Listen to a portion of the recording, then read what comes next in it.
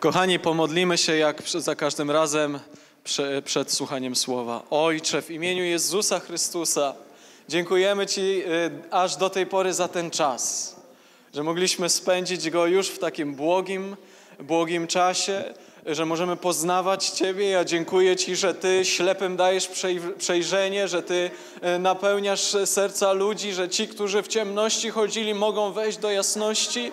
Panie, Ty jesteś światłem. Ty jesteś Bogiem, o którym y, wiadomo, który dał się poznać, który chce wychodzić do ludzi, ale też jesteś świętym, potężnym i wspaniałym Bogiem. Panie, takiego Cię chwalimy i wielbimy w imieniu Twojego umiłowanego Syna Jezusa Chrystusa. Amen. Amen. Kochani, usiądźmy.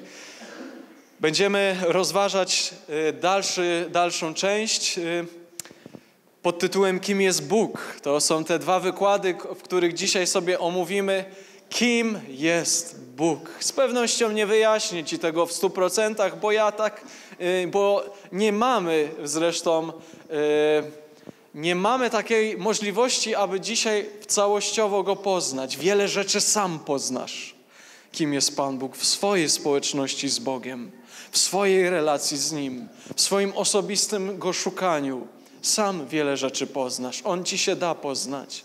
On ci się da poznać jako Bóg prawdomówny, jako Bóg, który jest wierny. Ja ci mogę tylko powiedzieć, ale On da ci się poznać. Kiedy nagle On coś do ciebie powie, przeczytasz coś i nagle po jakimś czasie się dokładnie tak wydarzy, poznasz Go bliżej, że On nigdy cię nie zawiedzie, że On zawsze cię wyprowadzi, kochani, taki jest Bóg. Ale mówiliśmy o tym, że Bóg jest święty. I mam nadzieję, że ta nowina o tym, że Bóg jest święty, no i nie jest nowina, to jest stare przesłanie, ale że ta dla Ciebie być może nowina jest dzisiaj świeża i jakaś taka bardziej jasna. Bóg jest święty. Kochani, kiedy otwieramy Ewangelię Łukasza, 18 rozdział, 17 wiersz, odkrywamy coś jeszcze w Bożej naturze że Bóg jest jeszcze inny, nie tylko święty, ale jeszcze, jeszcze inny. I zapytał go pewien dostojnik tymi słowy. Nauczycielu dobry, co mam czynić, aby odziedziczyć żywot wieczny? Rzekł do niego Jezus, dlaczego zwierz mnie dobrym? Nikt nie jest dobry, tylko jeden Bóg. A więc zobaczcie, wystarczy otworzyć Biblię i w pewnym momencie nagle dowiesz się, że Bóg nie tylko jest święty, ale także jest i dobry. Kochani, ale to nie jest takie, y, takie lakoniczne stwierdzenie. Wielu ludzi mówi dzisiaj na świecie Bóg jest dobry. I mu, chociaż mówią, że Bóg jest dobry, sami żyją jak demony albo jeszcze gorzej ponieważ e, nigdy nie uznali Boga. Bóg jest dobry i niech sobie tam dobry, będąc gdzieś pozostaje w ukryciu, tak niektórzy mówią. Ale to nie jest tak. Bóg jest dobry i to słowo dobry będziemy chcieli za chwilkę rozważyć, ale pozwólcie, że przez chwilkę zastanowimy się nad całym tym wydarzeniem. Oto przychodzi dostojnik, człowiek bogaty, któremu nic nie brakowało w życiu i niczego nie brakowało. Tak, mi wiele w życiu brakuje i z pewnością my, polski naród, w większości przeżywamy jakieś braki, choć teraz już Polska wydaje się być coraz lepsza, okazuje się. Ale wielu ludziom wiele rzeczy brakuje. Tym prostym, prostym ludziom, którzy chcą normalnie funkcjonować, och, ile rzeczy mogłoby mógłby człowiek mieć. Temu człowiekowi zdaje się nic nie brakowało. To był dostojnik. I z dalszej części tego tekstu wynika, że on miał naprawdę mnóstwo pieniędzy. Problem w tym, że nie potrafił i nie chciał zrobić z tym porządku, ale tego nie omawiamy. Chcę zwrócić uwagę na to, o co zapytał ten dostojnik. Czym był zainteresowany ten człowiek, który, jak zdawałoby się, niczego mu nie brakuje, okazuje się, że w tym całym bogactwie, którego się dorobił, zapomniał zadbać o jedną rzecz, bo nie wiedział, jak dojść do żywota wiecznego. Okazuje się, że możesz mieć na ziemi wszystko, czego dusza zapragnie.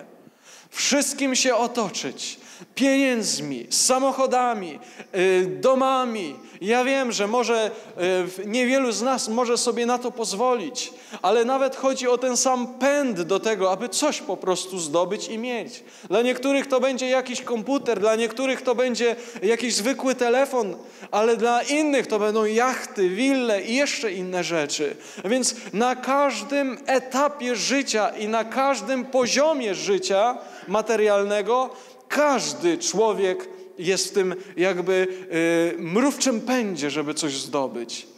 Wyścig szczurów dzisiaj się tak mówi.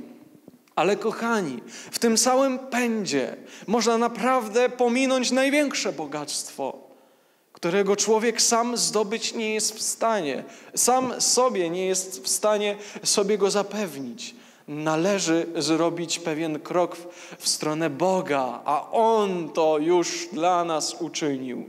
Kochani, y, powiada, y, powiada y, Biblia, że to był dostojnik, który zapytał się nauczyciela, Pana Jezusa, co mam uczynić, aby odziedziczyć żywot wieczny?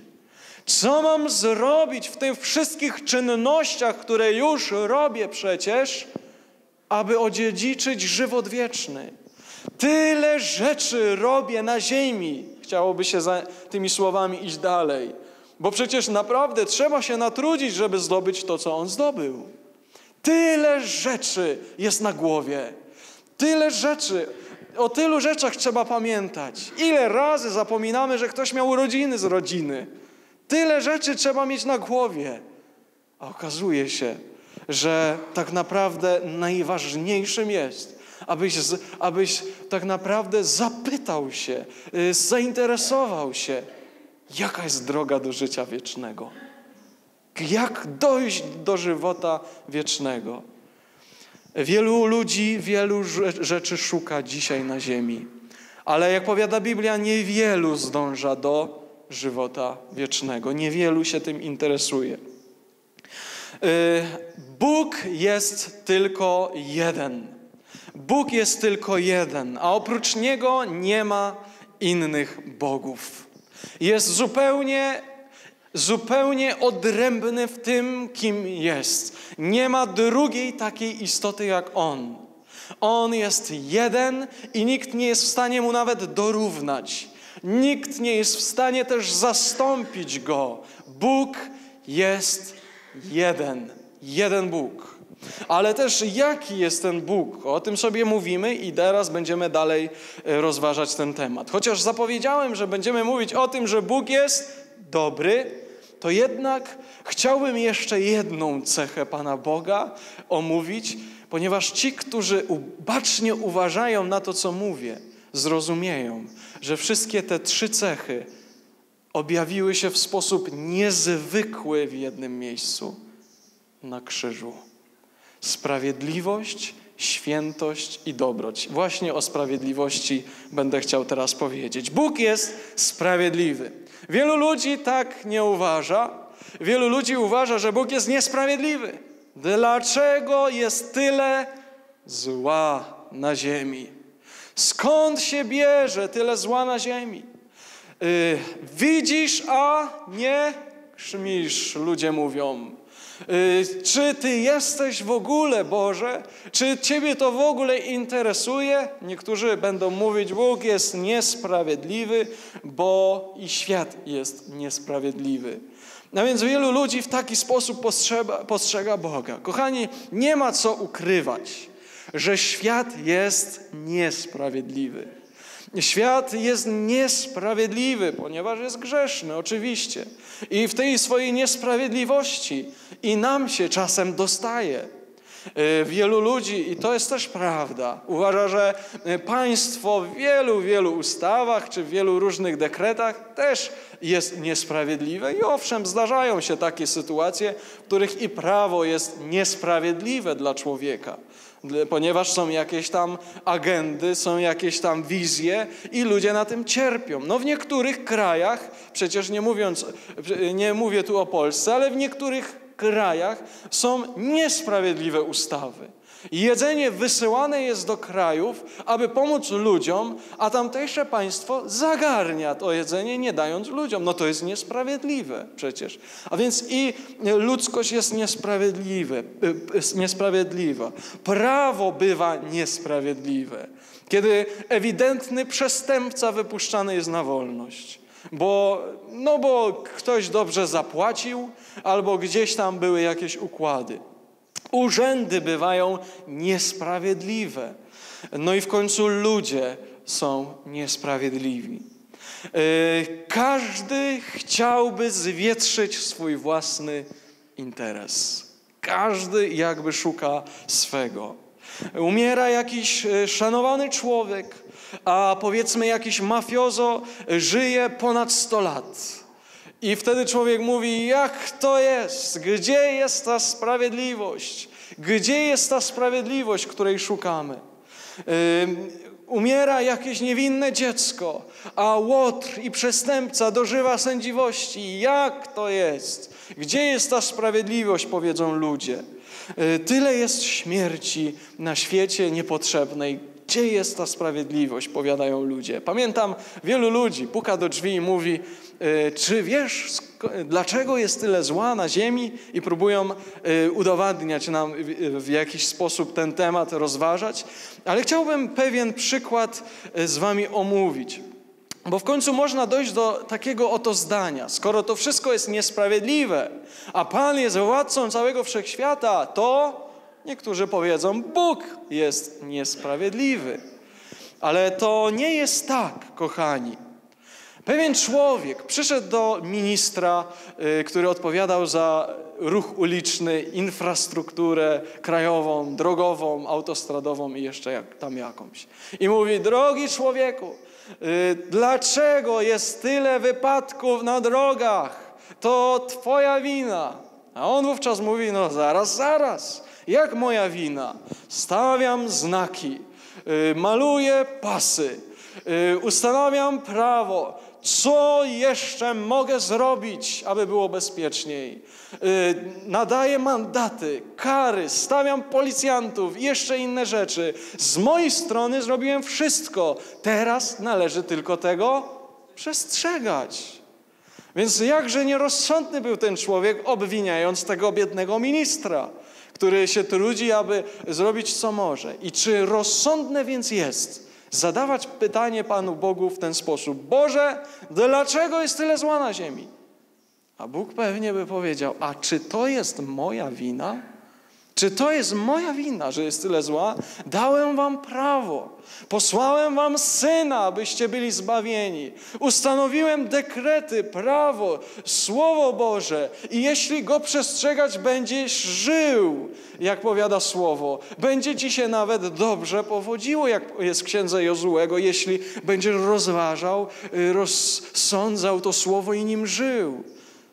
No ale człowiek, człowiek zachowuje się jak taki szaleniec na, drog- na drodze. Bierze kierownicę w swoje ręce i w ogóle bezmyślnie y, jeździ po tych drogach. Okazuje się, że pomimo całego tego prawa, ten szaleniec pod wpływem alkoholu wjeżdża w jakąś grupę ludzi. Oni umierają, ten przeżywa. I kto jest temu winien? Jak nie ten bezmyślny, jak nie ten y, człowiek, który zignorował ustanowienie i prawo. Kochani, nie dziwmy się. Dlaczego jest tyle zła na ziemi? Skoro ten człowiek dzisiaj zachowuje się jak ten przed chwilą opisany szaleniec. Bierze kierownicę swojego życia w swoje ręce i nie myśli w ogóle o Bożym świecie, ale zastanawia się nad tym, jak tu sobie dobrze zrobić. I pomija wszystko to, co Bóg zawarł w swojej woli, tylko po to, aby sobie i sobie e, przyłożyć i zagarnąć. Rani przy tym innych ludzi i kochani, tu jest przyczyna całego zła. Dlatego nie Pan Bóg jest winien temu wszystkiemu, ale niestety człowiek. Człowiek. Ale kochani, chcemy powiedzieć o tym, że Bóg przecież jest sprawiedliwy. Bóg jest sprawiedliwy. E, dlatego, że jest sprawiedliwy, musimy sobie tą cechę omówić. Dlatego, że jest sprawiedliwy, to znaczy, że za dobro nie ukarze, ale nagrodzi, a za zło ukarze. Bo tego wymaga sprawiedliwość. Sprawiedliwość to też jest taka cecha, która sprawia, że wszystkim daje się równo. To jest to, co brat Jan tu na, przed chwilą, na zakończeniu poprzedniego wykładu powiedział, że Bóg nie ma względu na osobę. Dlaczego? Bo jest sprawiedliwy.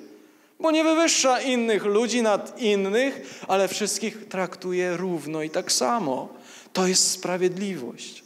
Sprawiedliwość Boża polega na tym, że posłał swojego syna, aby ten umarł za wszystkich bez wyjątku. Nie za tylko apostołów, nie tylko za jakichś tam duchownych i innych ludzi, za wszystkich. Dlatego powiada Boże Słowo, że kiedy byliśmy jeszcze grzesznikami, ten za nas umarł, za nas wszystkich. W innym miejscu Bożego Słowa przeczytasz za grzech całego świata. A więc, kochani, Bóg jest sprawiedliwy. Ale jak to jest? Jak to jest z tą sprawiedliwością? Musimy sobie to na pewnym przykładzie y, wytłumaczyć i zobrazować. Bo wielu ludzi myśli, że tak. Ja, ja to słyszałem, kochani, wybaczcie za tak y, dziwny przykład, ale ja to słyszałem na własne uszy. A tłusty czwartek się zbliża, najem się pączków, a później się wyspowiadam. A więc Ktoś się tam wcześniej założył, że sobie nagrzeszy, jak to pomyślał, nagrzeszy sobie, ale co z tego, bo się tam później wyspowiada. No, kochani, nie chcę tu wnikać w ten cały sposób rozwiązania tego problemu, ale chcę wniknąć w serce tego człowieka. Czyż to nie jest, czy to nie jest nierozsądne? Najpierw nagrzeszyć z myślą, że przecież jakoś sobie to rozwiąże później. Kochani, czy jakaś żona zaakceptowałaby taki stan, gdyby mąż jej powiedział: Słuchaj, żono, ja sobie teraz pospotykam z innymi kobietami, yy, pobawię się, a później wrócę i cię przeproszę. No, czy to jest rozsądne? No, czysta logika i rozumowanie zwykłe nasze podpowiada, że to jest jakieś dziwaczne podejście. Kochani, Bóg jest sprawiedliwy. I on nie da się z siebie naśmiewać. A myślę, że takie podejście to jest po prostu czynienie z Boga jakiegoś tam, no nie chciałbym tu używać niepotrzebnych słów, ale no na pewno y, nie traktowanie Boga poważnie, skoro ten jest święty, kochani. Cała, cała duchowość, całe, wszystkie istoty duchowe przed Nim drżą a człowiek mówi, ja sobie pogrzeszę, a później sobie to jakoś tam rozwiążę. To jest nierozsądne y, ze strony ludzi, aby tak postępować. No więc y, co należy, jak to zobrazować? No słuchajcie, wyobraźcie sobie sytuację. Oto przychodzisz do sądu. Było tu takie wspaniałe wejście zapowiedziane. Powstańmy, bo wysoki sąd nadchodzi, tak? To oczywiście było dla żartów, ale chciałbym was przenieść właśnie na chwilkę do sądu. Wyobraźcie sobie, że wchodzicie do sądu, ponieważ ma się toczyć rozprawa. I na tej rozprawie nie jesteście oskarżonymi, ale jesteście poszkodowani, bo jakiś przestępca y, skrzywdził twojego, y, twojego krewnego albo osobę z twojej rodziny. Wyobraźcie sobie taką sytuację.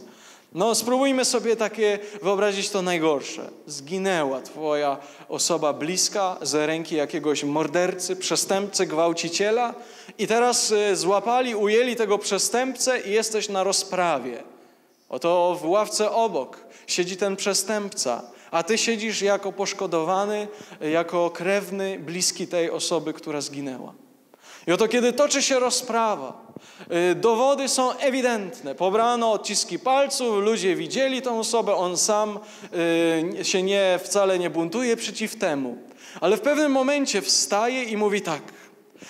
Y, drodzy zgromadzeni i wysoki sądzie, tak, to ja dokonałem tego przestępstwa. Ja to zrobiłem, ale w tym momencie przepraszam. Przepraszam. I pomyślcie sobie teraz o tej sytuacji. Sędzia stwierdza, o, skoro ten człowiek się przyznał, przeprosił, droga wolna człowieku. Zamykam tą rozprawę, idź wolny, bo przeprosiłeś. Przeprosiłeś, to idź wolny, jesteś wolny. Kochani, y, co byście powiedzieli o tym człowieku, który był sędzią? Prawie, prawdopodobnie dostał w kieszeń albo jest niesprawiedliwy. Dlaczego? Bo, bo prawo wymaga, że za przestępstwo należy się kara. I to jest sprawiedliwość według dzisiejszego prawa. Sprawiedliwością jest przestępstwo ukarać, nadać mu karę. I sprawiedliwością jest, aby ten, który popełnił przestępstwo, odpracował to, ten wyrok i karę. Taka jest sprawiedliwość ludzka. E, niestety, niestety, a dla nas e, wierzących ludzi myślę, że stety, Bóg jest sprawiedliwy. Niestety mówię dla tych, którzy świadomie grzeszą i nic z tym nie chcą zrobić. Bo oto nadchodzi dzień, kiedy ten sprawiedliwy Bóg nagle powstanie i jak powiada Boże Słowo, sprawiedliwą ręką, sprawiedliwym, sprawiedliwą ręką obejdzie się ze światem.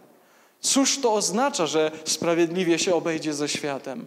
To znaczy, że wszyscy grzesznicy i ci, którzy ciągle i ciągle odwracali się do Niego plecami i ignorowali to Boże prawo i Boże wezwanie do pokuty, opamiętania i zmiany swojego życia, nagle na tych wszystkich lu ludzi nie stąpi już łaska Boga, ale sprawiedliwość Boga. Kochani, gdyby tak, Bóg postanowił i siedząc na tronie, postanowił nagle zmienić zdanie. I nagle wszystkim grzesznikom i całemu światu duchowemu zakomunikowałby, by, no tak, kiedyś tak myślałem, że y, ukażę grzeszników, ale zmieniam zdanie. Wszyscy grzesznicy mają wybaczone wszystko. Wtedy nagle powstałyby niezliczone rzesze aniołów, łącznie z szatanem, i powiedzieliby: Jesteś niesprawiedliwy, i mieliby rację. Dlatego, że Bóg jest sprawiedliwy, to znaczy, że musi ukarać grzech i zło. Biblia mówi wyraźnie: karą za grzech jest śmierć. I takie jest Boże postanowienie. Śmierć jest efektem i karą za grzech. Dlatego Bóg jest sprawiedliwy y, w ten sposób. Dlatego Bóg po prostu nie może umorzyć sprawy, bo ktoś sobie tam coś powiedział pod nosem, ciesząc się y, z naiwności sędziego. Nie, Bóg tak nie postępuje. On wie wszystko. Znasz serce. Znacie do głębi i wie, w którym jesteś miejscu. Bóg jest sprawiedliwy. E, ktoś kiedyś powiedział, że ktoś kiedyś nawet mi chyba książkę, chyba ty bracie, Ewangelia Sprawiedliwości. Jest e, takie zwiastowanie z naciskiem właśnie na sprawiedliwość. A więc, kochani, Bóg jest sprawiedliwy i tego nie da się wymazać. Za nic w świecie. Bóg jest sprawiedliwy. E, ale chociaż Bóg jest sprawiedliwy, i nie mógł tak po prostu umorzyć całej ludzkości tej niestety ciążącej sprawy, to jednak Bóg nie tylko jest święty i sprawiedliwy, ale jest też dobry i łaskawy. I kochani, to nie mogło być tak w Królestwie Bożym, że nagle Pan Bóg zapomniał o swojej sprawiedliwości, świętości i odłożył je na półkę i zaczął się łaskawie obchodzić ludźmi. Nie, nie. To wszystko musiało zaistnieć wspólnie razem. Świętość, sprawiedliwość i łaska i miłosierdzie. Bóg nigdy nie zaprzeczy samemu sobie. Więc nigdy nie postąpi niesprawiedliwie, e, nie postąpi e, nieświęcie i nigdy nie postąpi niełaskawie i niemiłosiernie. Dlatego, że Bóg jest sprawiedliwy, kochani, posłał swojego Syna na świat. I ten, który wisiał na krzyżu, właśnie otrzymał karę za niesprawiedliwość ludzi. Dlatego w ten sposób się sprawiedliwość Boga objawiła, że ktoś tą karę otrzymał. Ale nie byłeś tym, tym człowiekiem ani ty, ani ja. I dlatego w tym samym momencie, kiedy Bóg był ciągle sprawiedliwy i ciągle święty, wymagający świętości, w tym samym momencie okazał się też łaskawy i miłosierny. Dlatego On nie oczekuje teraz, od Ciebie, tej, tej niesplamionej, niesplamionej niesprawiedliwością szaty. On oczekuje od Ciebie, że na swoje życie założysz szatę sprawiedliwości Chrystusa Jezusa, bo żadnymi uczynkami sprawiedliwości nie zostanie zbawiony nikt, jak powiada Biblii. Choćbyś żył sprawiedliwie jak żaden człowiek, nie ma ani jednej istoty, która mogłaby być zbawiona z powodu własnych uczynków. Dlaczego? Bo powiada Boże Słowo, że zbawienie jest Bożym darem, a nie czymś, czym człowiek będzie się chlubił, że sam osiągnął. Żaden człowiek nie mógł tego osiągnąć. Ale kochani, idźmy dalej, bo mówimy o tym, że Bóg jest dobry i łaskawy.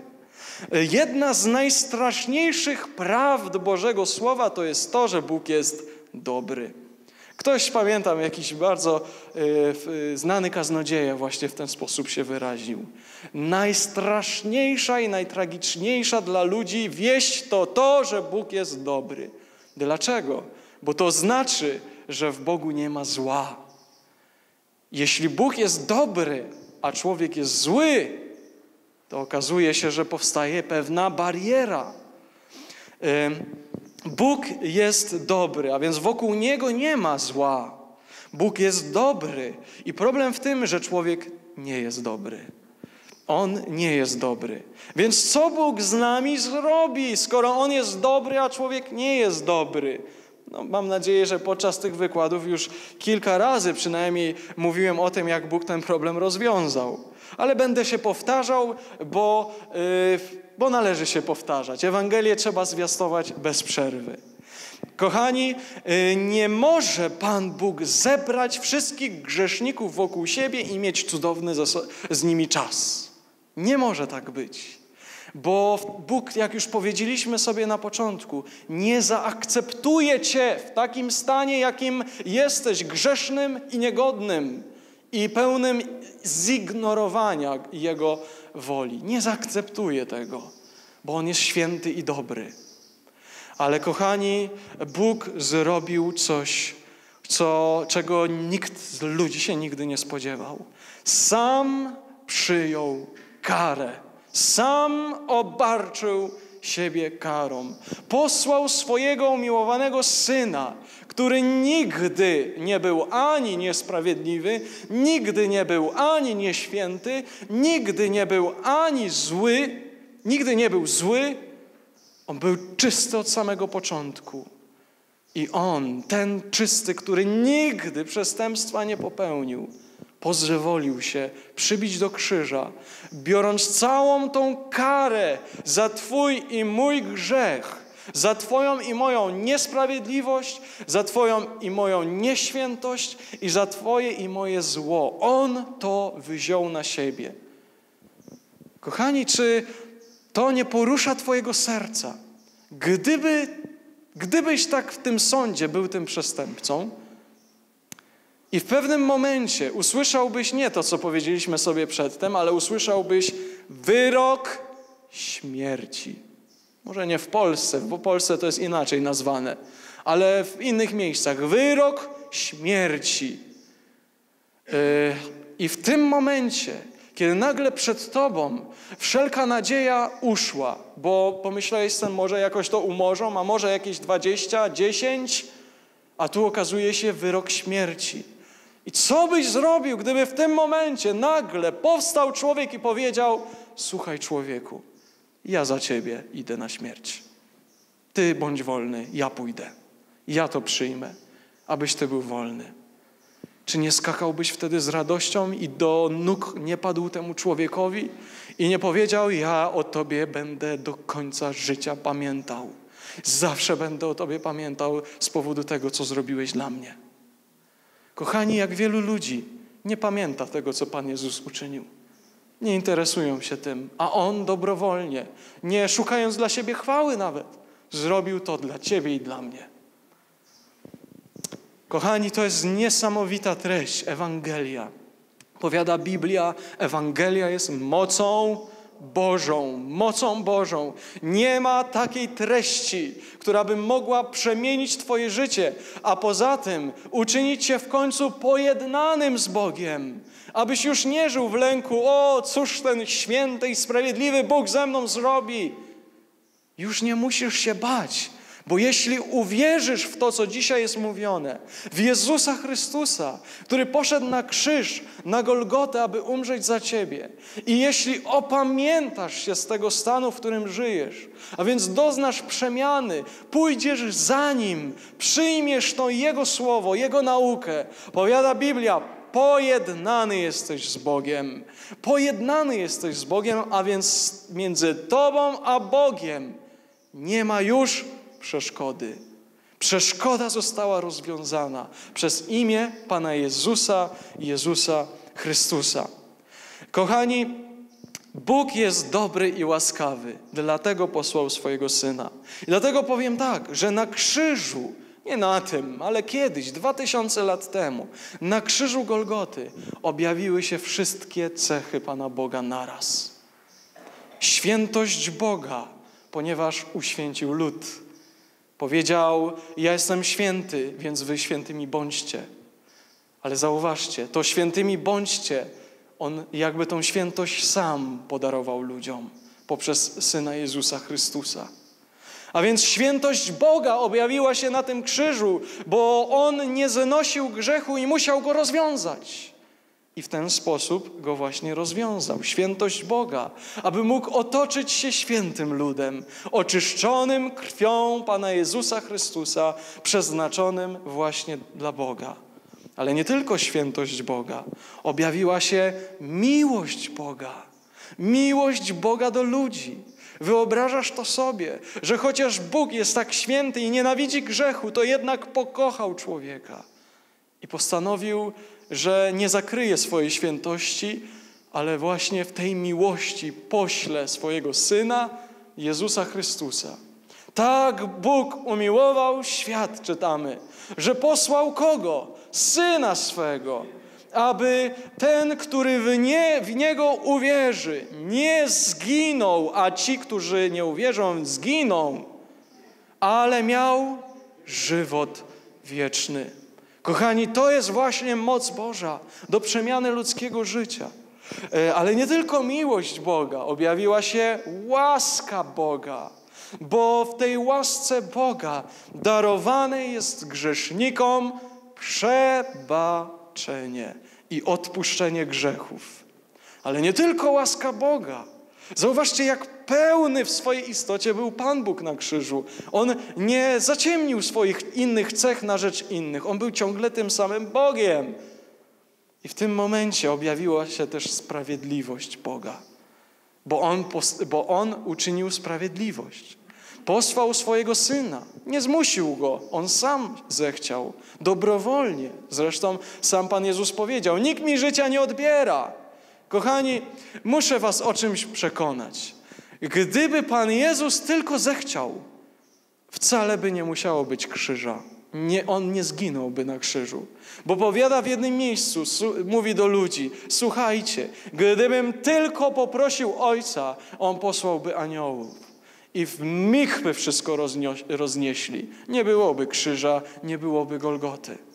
Ale Pan Jezus powiada w innym miejscu: Nikt mi życia nie odbiera, to ja je daję. Ja je daję. Ja je wydaję za grzech ludzkości. On to zrobił dobrowolnie dla Ciebie i dla mnie. Kochani, On doskonale wiedział, dlaczego umiera.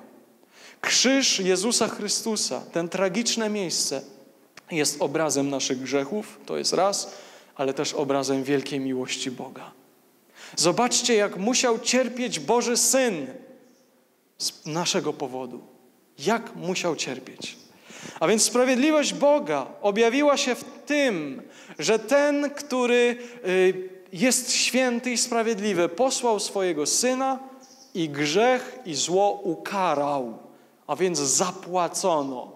Kiedy Pan Jezus wisiał na krzyżu, zawołał: Wykonało się, zapłacone, dokonane, wszystko jest wykonane, co miało być wykonane.